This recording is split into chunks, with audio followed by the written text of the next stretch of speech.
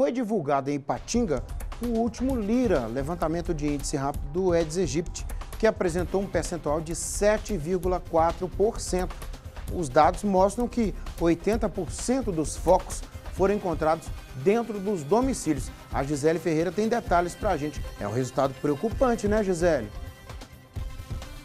Pois é, Nico, o resultado deste levantamento de infestação larvária aqui em Ipatinga, inclusive, já era esperado.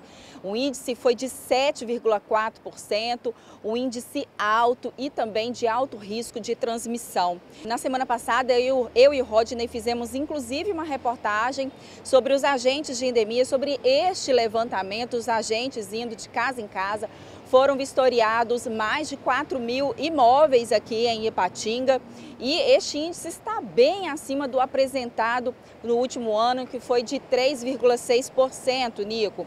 Olha só, este novo LIRA apresentado aponta que o maior índice de infestação ficou nos bairros Bom Jardim, Ferroviários, Horto, que é essa região aqui onde eu e o Rodney ficamos, também o bairro Veneza, Esperança, Ideal, Granjas Vagalume, Betânia, Caravelas e Jardim Panorama. Enfim, todos os bairros de Ipatinga constataram um índice elevado de, de larvas, né, que é o de larvas que depois viram o mosquito transmissor da dengue, principalmente agora chikungunya, que está tendo mais casos, inclusive, do que o de dengue. A Prefeitura de Patinga, inclusive, já realiza várias ações para o combate né, do mosquito adulto, que é a utilização do fumacê em horas específicas do dia. Também mais de 250 servidores estão na ativa diariamente providenciando a limpezas de, de vias públicas, né, porque infelizmente a, gente ainda tem essa cultura